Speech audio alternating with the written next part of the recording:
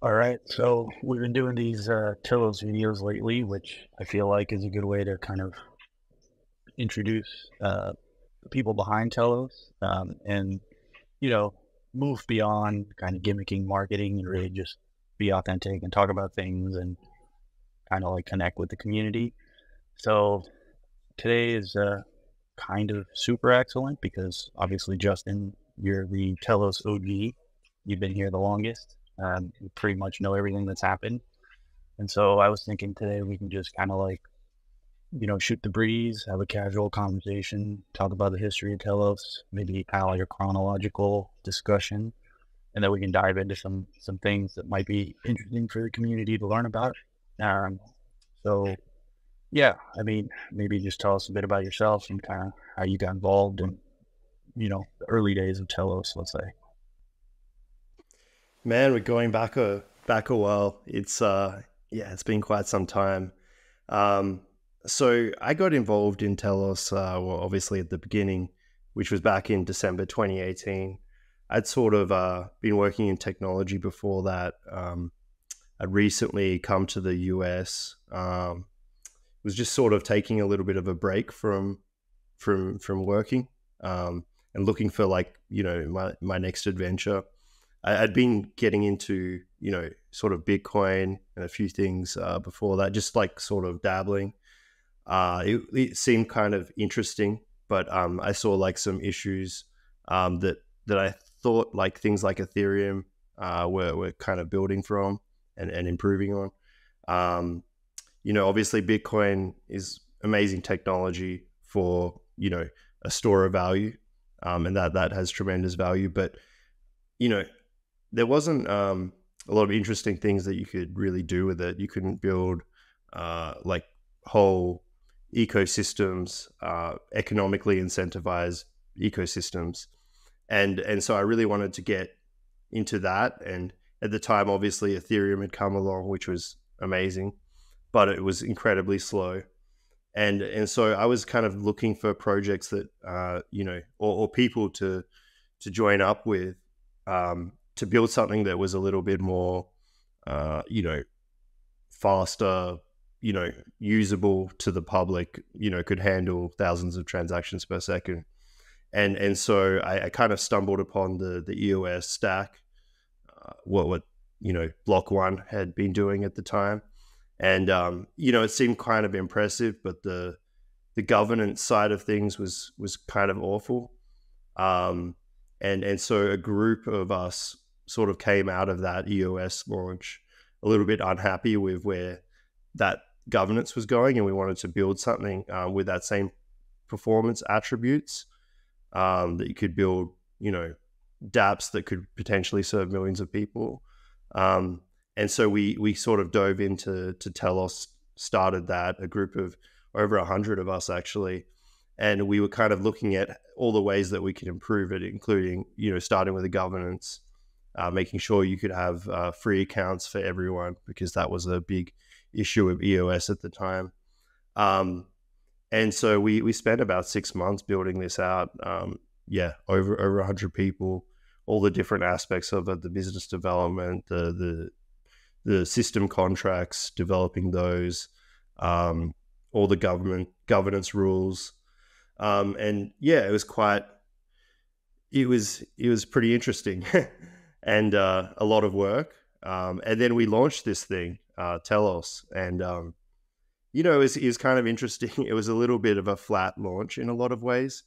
Um, you know, everyone was really excited, but um, we learned a lot of things really, really quickly. Um, we learned that exchanges will not just list your project because it's a really great project. Uh, and then we started pivoting to, or not pivoting, but we we just put our heads down and we started to, um, I guess, aggressively onboard a lot of applications. And we managed to do that with like basically no money. The, the foundation was given, um, I think, five or six million tokens at the time. But because we launched without any liquidity um, and any fundraising, the tokens were basically worthless. Uh, but nonetheless, we managed to um, really convince a, you know at least tens of applications, eventually hundred applications, uh, to to build what is basically proof of concepts. Let's let's be honest. They're not all great applications, and this was on our native layer at the time. Um, and and so that was an interesting time. And the more that we poured in our energy, we'd we'd onboard more apps, but then exchanges still wouldn't list us, which made it hard for us to be visible and made it hard for people to engage with the community or, or become part of this community rather. Um, so over the years, we've learned a tremendous amount of lessons. Uh, we eventually did some small community raises uh, that allowed us to open up a bridge to Ethereum and Binance Smart Chain and and um, get some liquidity via Pancake Swap and Uniswap. And those were huge events for us uh, because they we were previously on like one or two no name exchanges and no one could get access.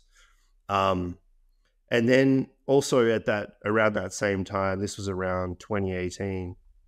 Uh, sorry, not 2018, uh, 2021, I want to say. Uh, late 2021, we started building, oh no, about four or five months before that, we started building uh, the Telos EVM.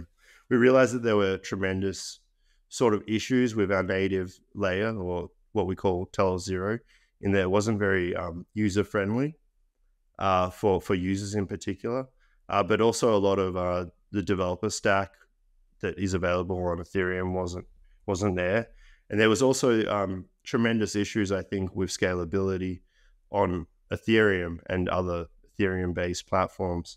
In fact, there wasn't particularly many of those at the time.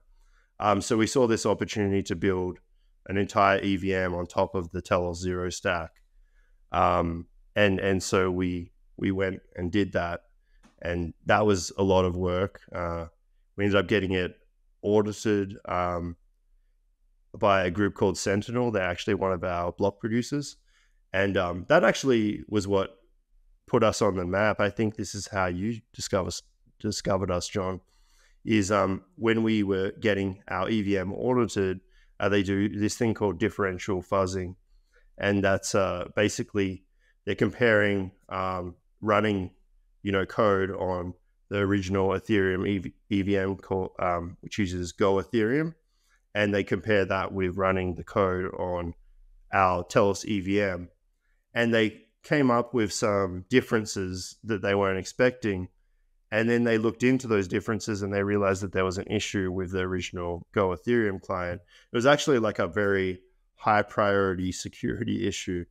Um, so this like resulted in a lot of Cointelegraph articles and other things, and really put Telos out there. Um, not just because we were building a you know high performance EVM, but because it had uncovered a major uh, security flaw that meant like about six or seven different networks had to do um, upgrades.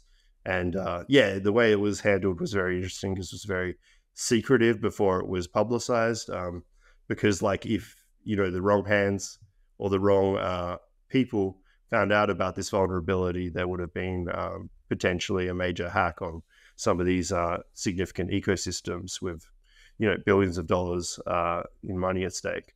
So anyway, eventually we uh, launched our EVM, and uh, yeah, it's been two years, I guess, since then, and it's it's um, yeah, there's been a lot of work, a lot of applications onboarded. Uh, you know, some struggles of getting compatibility to be hundred percent. Um, but I think we're starting to get there. We're starting to get in a really good place at a right at the right time, I'd say. Um, but there's still a lot of work to to be done. Um, yeah. So yeah. Yeah, I mean, that's quite an intro and a lot to unpack there. I'd, I'd say kind of the two spiciest takes I'd like to delve into is, uh, first of all, it, the two things that stick out is obviously the launch, the let's say disillusionment with Block One. Um, that's a well publicized kind of, um, you know, social, economic, political drama bomb. Um, and then, and then I think also just the extent to which the Ethereum community does not actually realize that Telos, to some extent, may have saved Ethereum at one point. Um, so, uh, you know, but going back to the early days, I remember when the EOS ICO launched, I mean, I was deep into Ethereum at the time. I was working for ConsenSys and I was very kind of adversarial to EOS, thinking like many Ethereum people at the time, this was a type of existential threat. And um, anyway, I gave them full credit insofar as they ran an ICO for a year and got people to give them $4 billion for free, basically. Um, whether that's, you know, whatever, you can have your own judgment about that. But um, yeah, I was very surprised at the, let's say, the, the lack of investment from Block One. I mean, they did invest in very large real estate projects and U.S. Treasuries, but in terms of funding the ecosystem, um, maybe you can talk a little bit about that as far as some of the struggles around the original EOS community, uh, around basically developing and deploying the technology, um, and you know how that essentially um, may or may not have motivated uh, the genesis of Telos, essentially.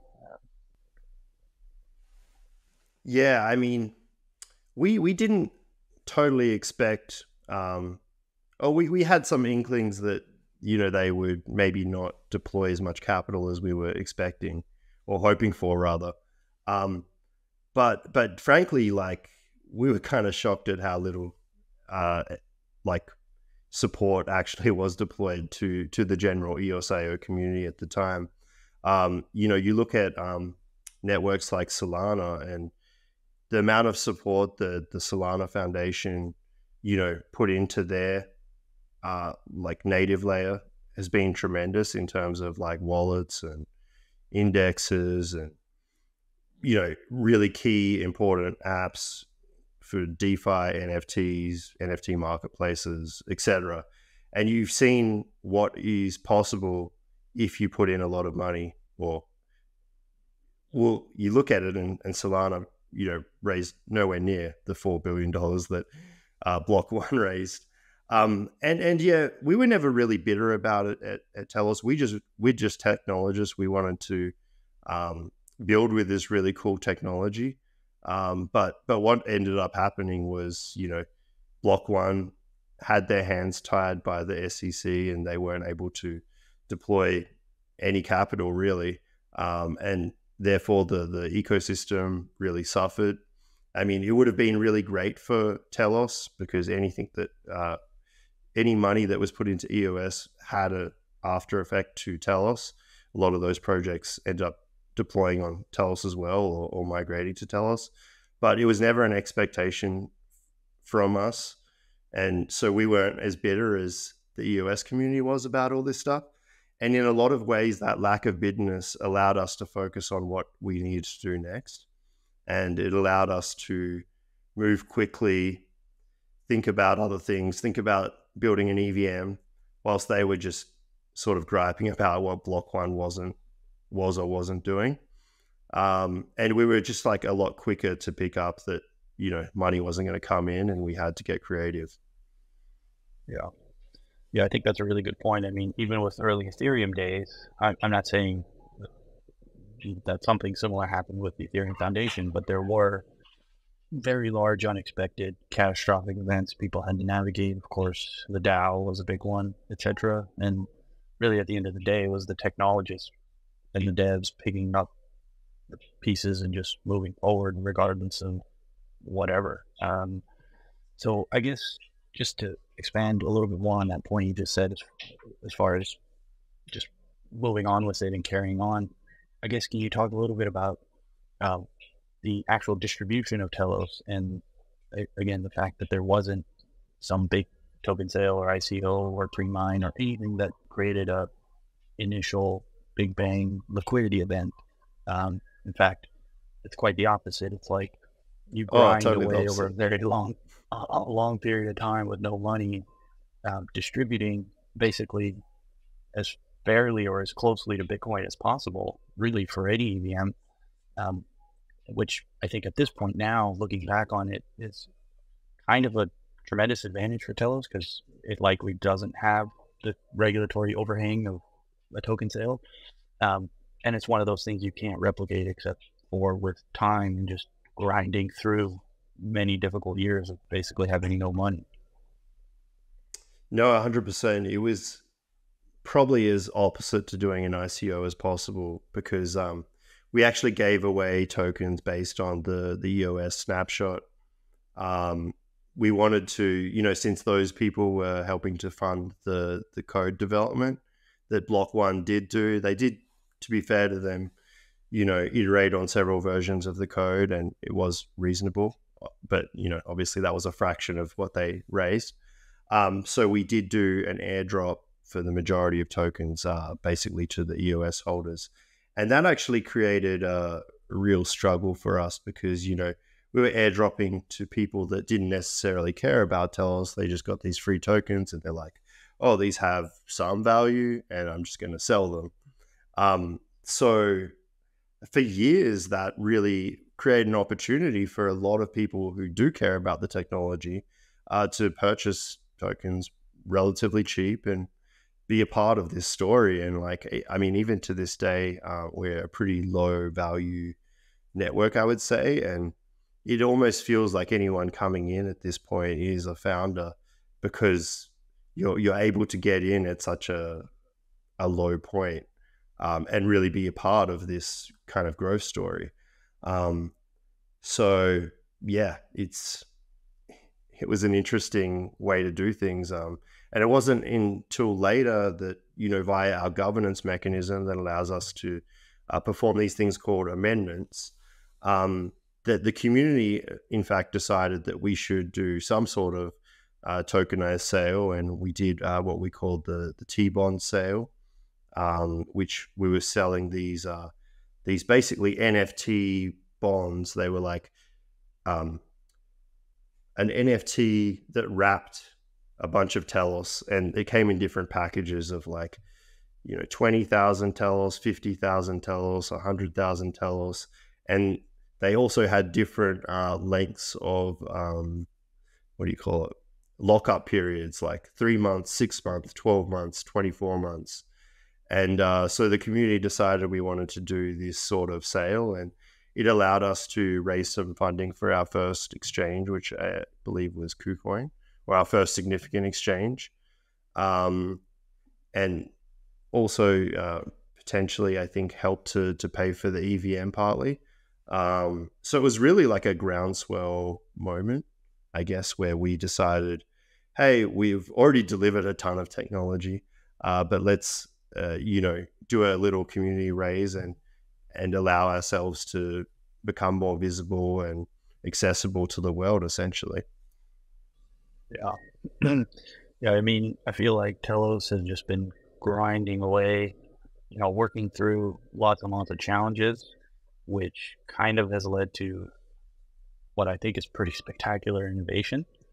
Um, and as you said, that process led you to the EVM pretty quickly. Um, and I, I, I think it would be helpful and enlightening for many Ethereum people who might be watching this video if you can just delve in a little bit more as far as what that code audit discovered uh, with respect to you know auditing the Telos EVM and discovering that there was a critical flaw in Ethereum itself, uh, and just the whole story of how all that kind of unfolded. I'm sure it must have been very chaotic at the time. Yeah, no, definitely. I mean, you know, it's been a while now, so I don't actually remember the exact details of the audit itself, but I remember, um, you know, when Sentnl discovered it, they actually initially couldn't tell us directly exactly what the issue was uh, because they wanted to speak to uh, the Go Ethereum team first, let them know, you know, they didn't want to take any chances that, you know, the, the vulnerability would get out to the wrong people. Um, so it was actually handled very delicately, um, where they said they found something, but that that's all they said. Um, and then they went to the Go Ethereum team, allowed the Go Ethereum team, I think, like, you know, they had some weeks or however long it, it took to, to fix the vulnerability. And then even the, the Go Ethereum team had to push that out covertly to all the different networks, Binance Smart Chain, uh, I think maybe Avalanche, and and some others as well.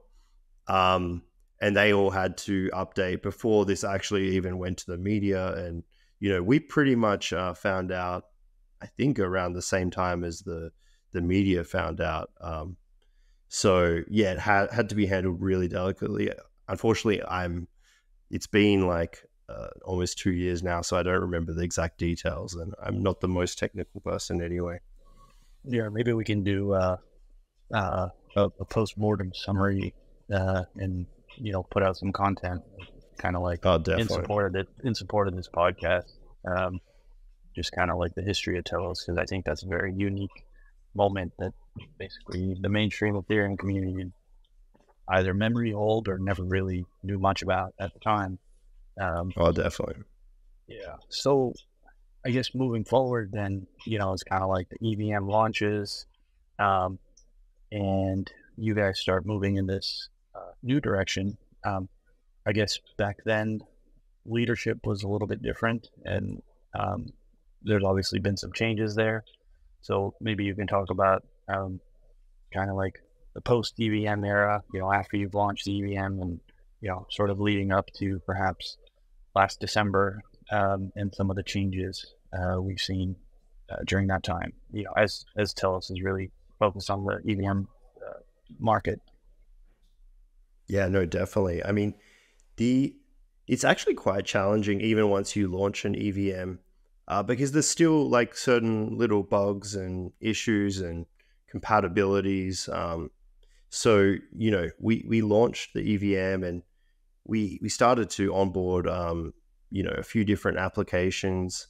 Um, it, it, took some time to get say um, the first DEX. I think like maybe like a month, month and a half, uh, just because of these technical issues that that pop up.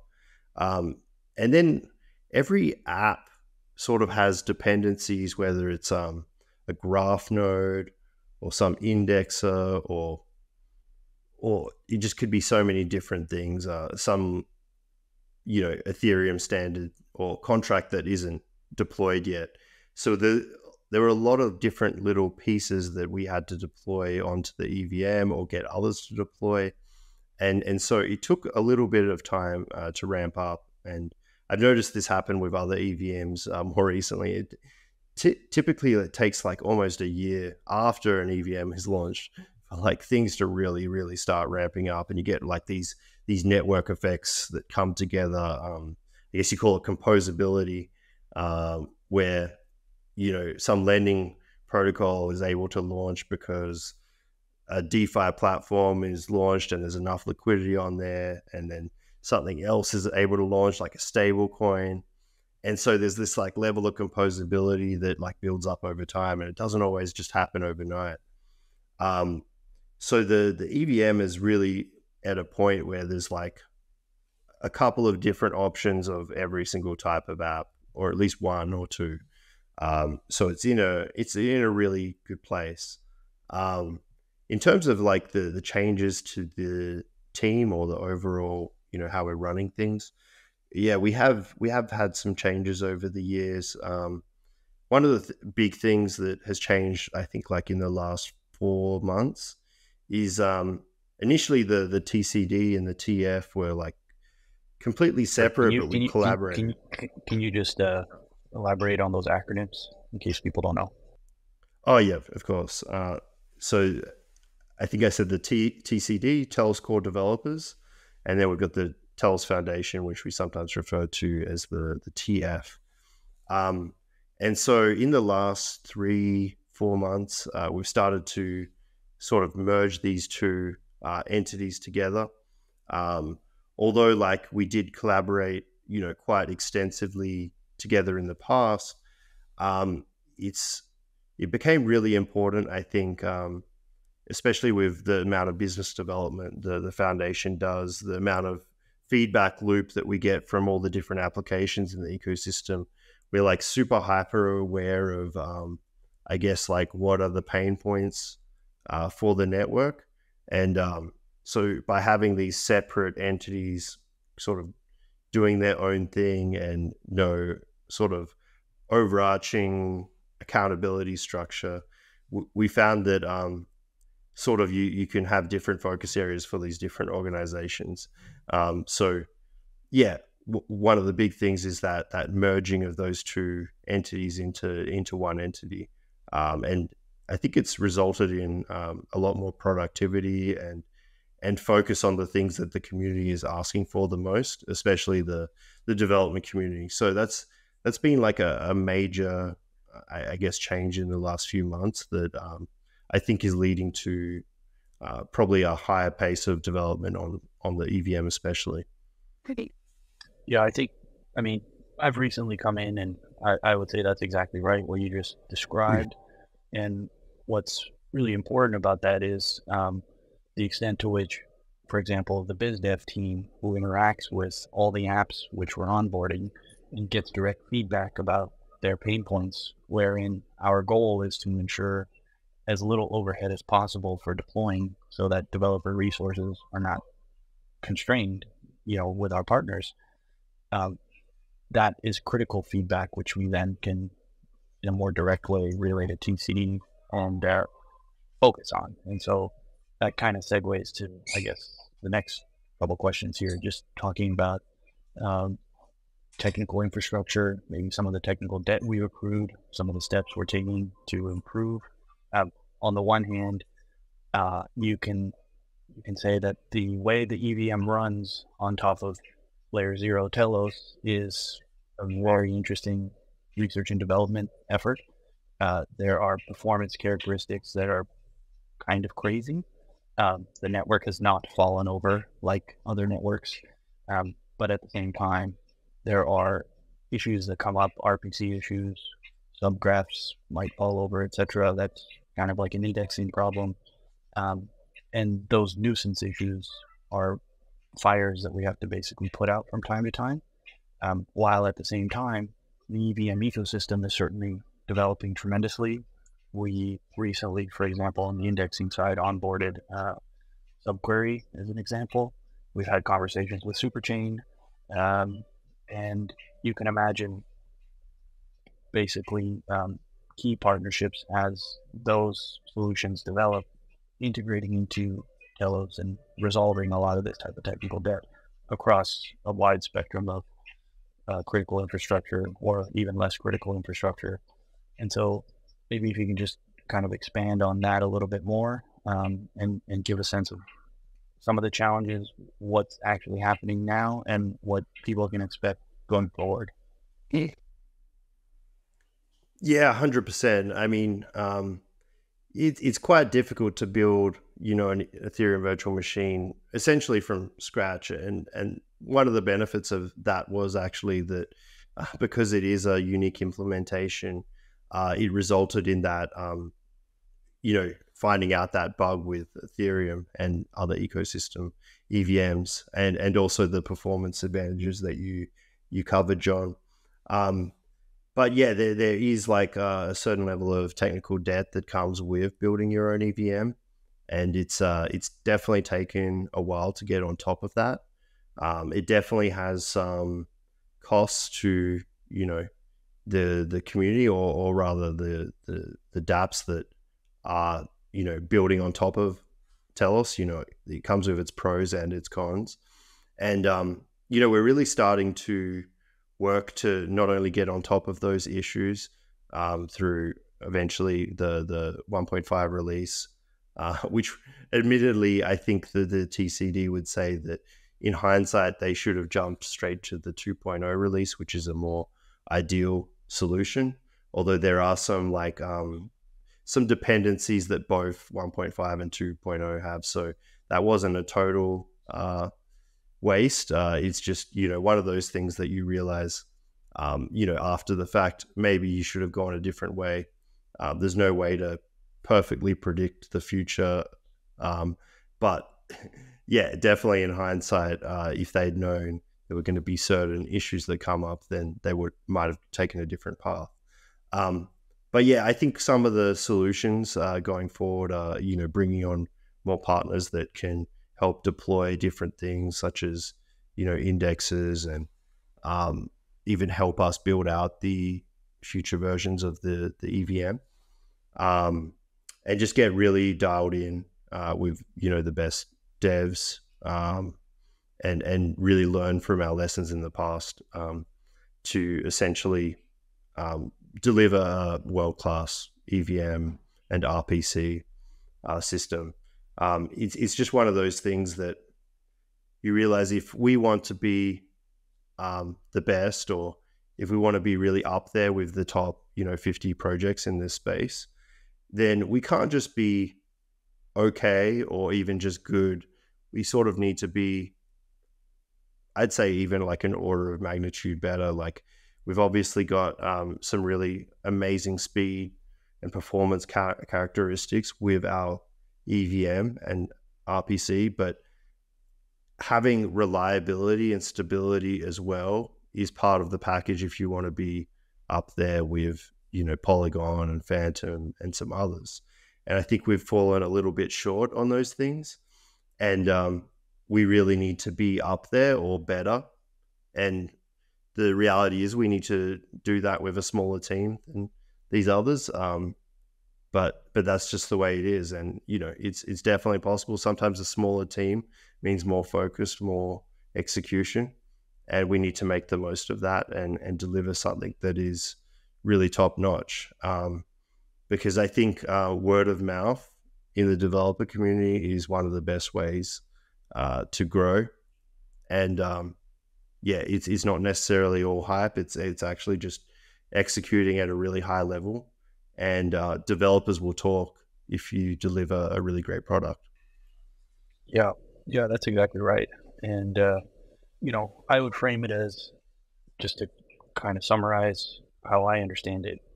You get these performance characteristics that are pretty spectacular, but at the cost of high maintenance and overhead.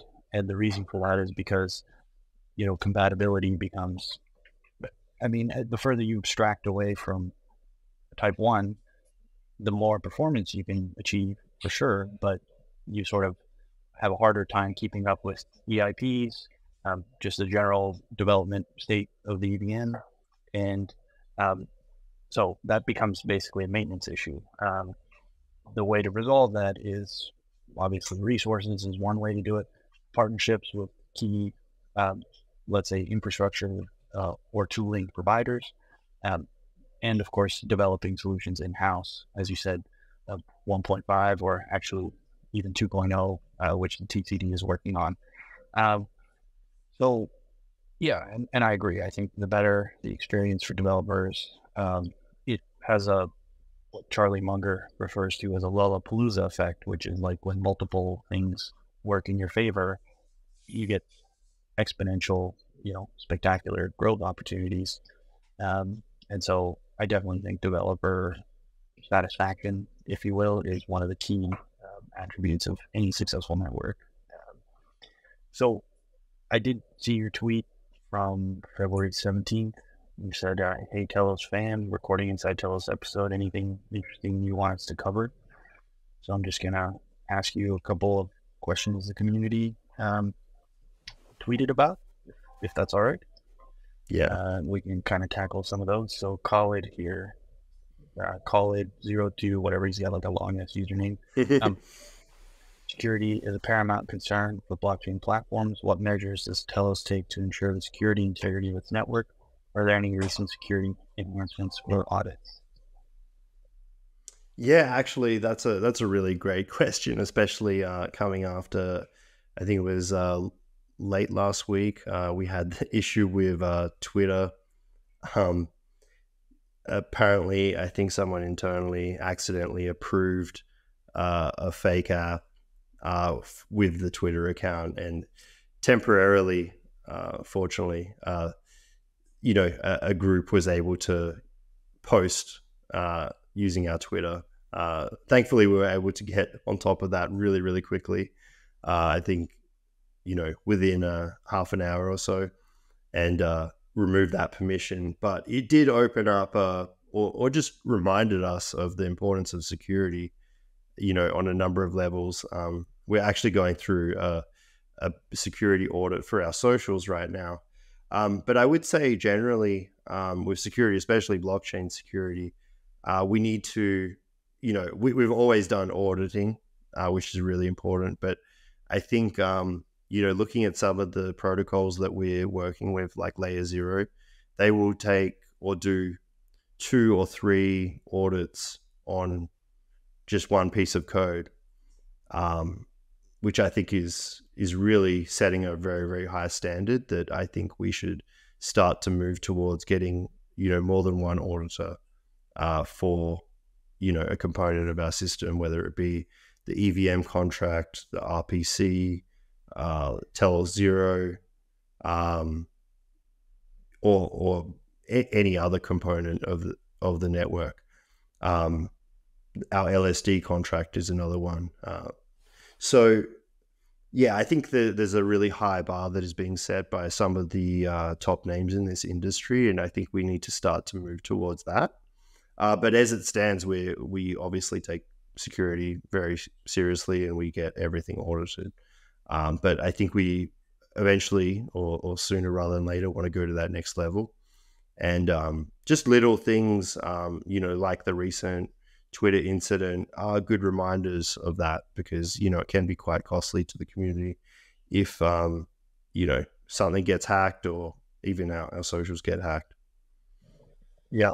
Yeah, I think that's a good point. I mean, thankfully, it only lasted, I think, just a few minutes or whatever, but, um, you know, and it did happen to the SEC.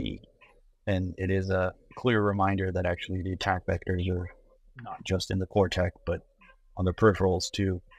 Um, okay, so here we have uh, KCR says uh, insights on airdrop strategy for the upcoming side chains of Telos would be great.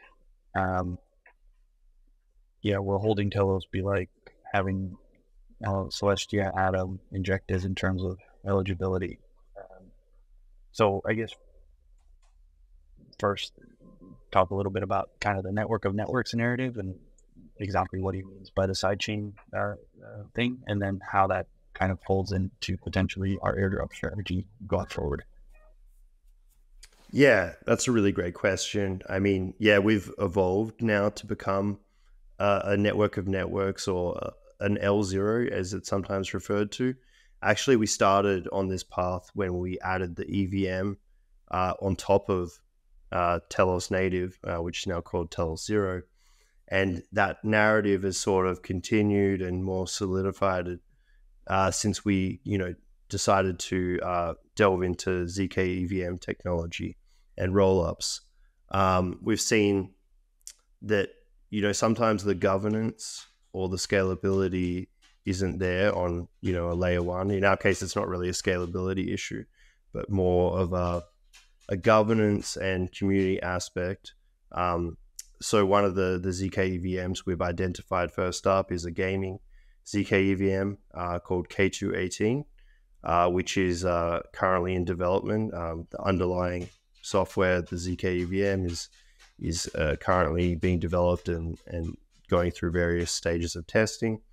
Um, and and we see a really great opportunity to bring in uh, a really a gaming focused community and have gaming focused grants and basically an ecosystem run by gamers, uh, which is something that, um, you know, at Telos, like we dabble in gaming, but we're not necessarily experts in gaming. So we're sort of developing this whole team that is just gaming only, gaming focused. Um, and there's going to be more opportunities um, for these uh, L2s going forward. And even talking to some projects that could be like an L1 that that is built on top of um, Telos Zero. Um, and you know, I, I don't want to like give any specifics, but you know, we could uh, be doing things like a, a Bitcoin layer two at some stage. You know, it's only something we're exploring. Uh, there's um, we're talking to some projects that um, are looking at uh, privacy specifically, or, or data protection rather, and and they want to deploy something that is focused purely on that. Um, and again, the that that's a really great example of um, where they want to deploy a network or a platform rather that has properties that an open, transparent uh, platform like Telos EVM doesn't uh, really deliver all the, those aspects. Um, so these are really great um, opportunities, and they also open up um, airdrop opportunities. Obviously, uh, we're not really ready to go into the details of how the airdrops will work. In a lot of cases, we're still figuring that out. We want to, you know, obviously take uh, the best of what uh, communities like Celestia are doing, take the inspiration from there, find out what worked, what didn't work, and adjust based on that. Um, but you definitely will hear more about this, and I hope I've given like at least some context of how we're thinking about this and how we're thinking about the Telos ecosystem as not just Telos Zero and Telos EVM, but um, something that you can build other networks on top of. And uh, yeah. Yeah. Um, okay. So I guess maybe one or two. This is from the dude. He says, not very technical, but can we please give some attention to the way Telos is being presented across different DeFi's and wallets? For example, MetaMask only shows a T. For Telos EVM, SafePal, and pTokens are still showing the old logo and stuff like that. So, um, yeah, it's kind of like that's out of our control. We're talking to everybody. We're trying to rally the community to upgrade. Um, but yeah, maybe you can talk about like the challenges of uh, getting others to be responsive and uh, you know some of the approaches we're taking you know just to even update our logo for example on you know uh, a wallet or trading view or something like that yeah decentralization is really hard and these ecosystems that we're building here like have so many uh, you know we're relying on so many different partners um, if we want to make a change and definitely changing our logo is a really simple example of that, where it does take uh, months to get everyone across the line. Um, so MetaMask is, uh, you know, a difficult one. We obviously want to get a direct integration with there and all of our logos and our network added by default. I think that's going to take some time, but um, I know, John, you've worked with, uh, you know, that team in the past, so maybe that gives us a chance there. Um, but actually, uh, yeah, we, are pushing on these. Uh, the other example uh, dude gave, uh, we've actually fixed. I forgot what that was. Um, pTokens actually, yeah, that that bridge logo is now is now fixed. So we're getting there, and we're we're close to the end of that. I, yeah, I, I noticed um, yesterday. I think it was not Trading View, which is one that we need to update, but um, I think DeFi Llama it still has the old logo. So yeah, there's there's so many of them. yeah. Um. Okay. So one last, and this one is spicy, and uh, you know, you can be as uh, considerate as you like for how you want to answer this. But uh, from Estefan TT, he says, "How Telos plans to position itself as a Bitcoin layer two. These are going up to uh, B. I guess that means Bitcoin too high for small and medium transactions. Um, and in this very cycle and further a crisis is coming, Telos could have a place next to Lightning Liquid and thus have an infinite amount of capital flowing into its ecosystem. Maybe not infinite, but you know that's that's kind of sure what Stefan is saying. Yeah. No, I think that's a really fantastic question, and I think it starts with um, finding uh, the real ideal partner to put Bitcoin on Telos. Obviously, we've got um, a version of Bitcoin on our EVM already, uh, but it is a wrapped version, and we would like something a little bit more substantial. Um, so ideally, something that you know is backed by you know Coinbase and their um, custodial services, um, and has like a lot of interoperability with um, our layer twos and future layer ones. Um, so really, the the trick is finding the the right partnerships, and that's something that we're working really hard on, along with actually finding you know the ideal stablecoin partner as well, uh, because it does take time to get like a direct uh, you know USDC deployment. Uh, but there are some new um, partners that you know have come up more recently, and we're we're talking to them, and we're definitely looking for sort of a, a Bitcoin partner that could could bring a really high quality version of um, Bitcoin on chain for Telos.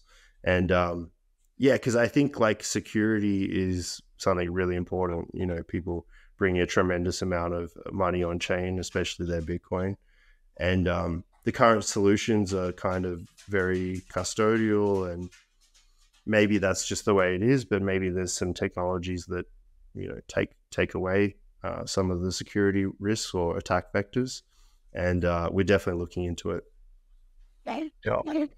Cool. Um, I guess just a couple more quick quick questions for me to touch upon. Um, first, um, obviously, there's been some price movement lately, and uh, last year there was um, governance passed, which describes um, tokenomics going forward, the impact on the Telos Foundation, and likewise um, price relative to USD and its impact on Telos inflation, rather uh, deflation. And so, maybe if you can just kind of briefly uh, talk a bit about that, we can of course share links. And I mean, the governance is all very transparent and clear, has been for some time. But I think just kind of quick summary and overview uh, would be very helpful for a lot of people who maybe haven't read the governance yet. Yeah, so um, you know, in some of our past economic proposals, uh, we've brought into play, you know, some different economic mechanisms. Um, one of these is that we have variable uh, block producer pay. Uh, so as the price of uh, Telos adjusts upwards, uh, the amount of Telos that goes to block producers actually goes down uh, because you know their their costs are typically in USD.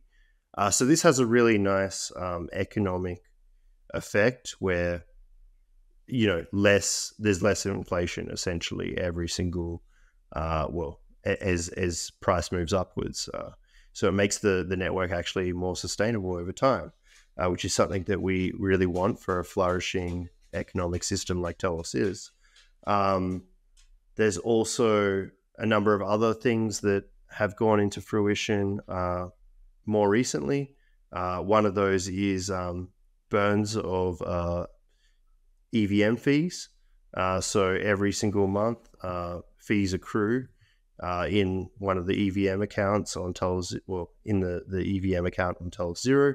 Uh, that they accrue from all the activity that's happening on chain, which you know is ramping up at the moment.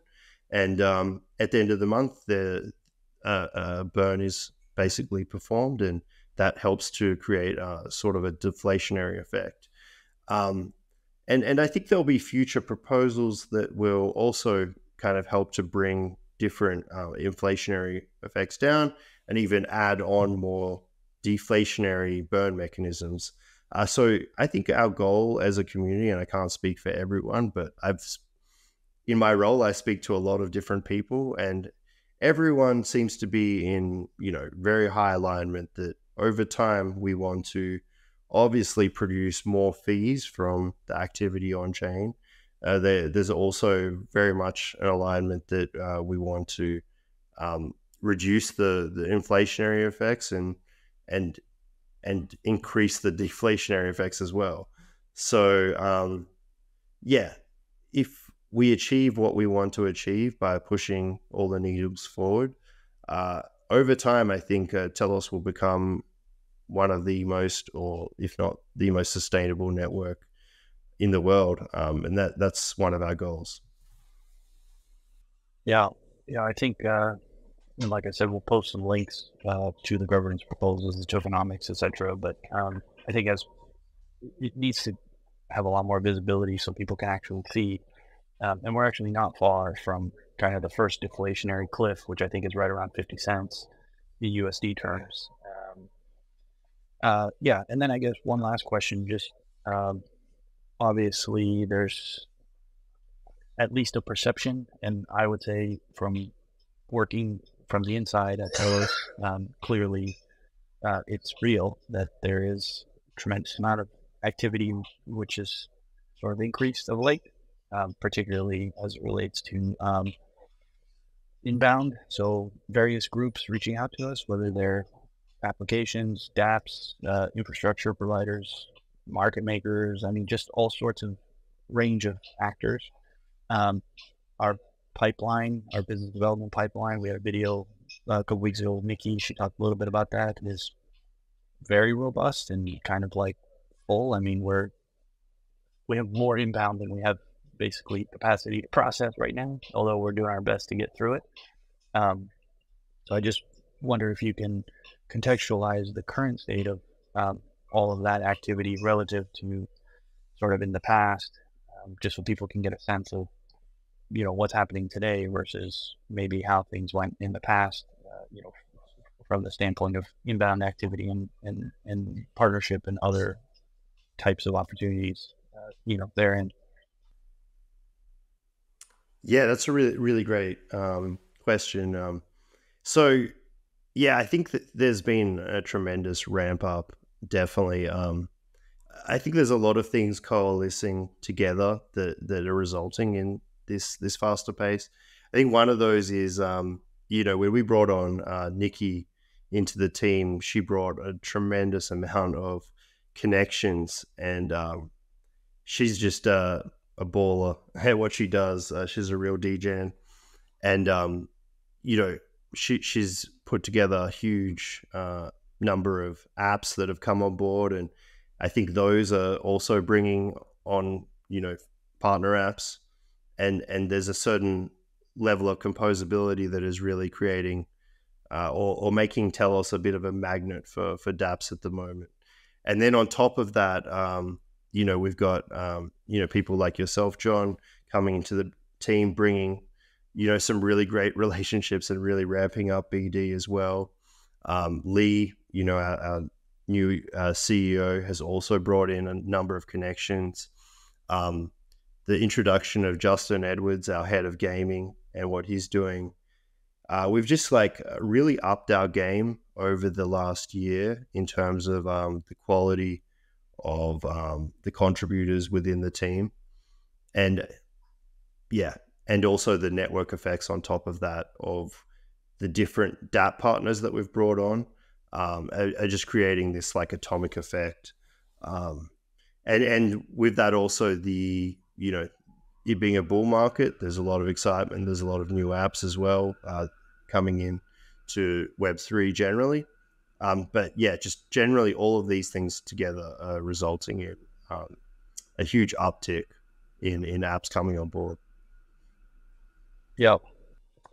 Yeah, and also resulting in many, many more work hours. I feel like we are all pretty much working all the time now. Like, um, you know, like I, but you know, that's fine. I mean, that's the way it goes. And, uh, you know, uh, when there is progress and you start to see growth, uh, it's certainly, certainly exciting to get to work every morning, um, even if it's like seven days a week. Uh, but um, I think we're all pretty excited about that. Um, cool. So uh, yeah, let's keep uh, let's keep kind of these things rolling. Probably do some more videos in the coming months like this. Uh, I feel like people really appreciate this, this format, um, just because it's like authentic, it's real, it's straight answers. Um, no, no hype, no spin. Just like you know, honestly talking about what's going on. Um, but uh, yeah, so we got the Asia Road Tour in swing right now, or the Asia Pivot, really. Um, I'm in Tokyo now, so we're gonna get a few more stops, and then I guess hopefully we can all hang out in person, uh, maybe in Europe in the in the very near future, like after Asia. Obviously, we're going to have Belgrade and EthCC, etc. So yeah, let's just keep talking. Uh, maybe do another one of these in a month or two. Um, otherwise, uh, yeah, everybody can find us on Twitter. We'll be there pretty much every day. So uh, yeah, thanks very much, Justin. Super, super good. Uh, great, uh, great, great podcast today. So thank you. Thank you. Been great.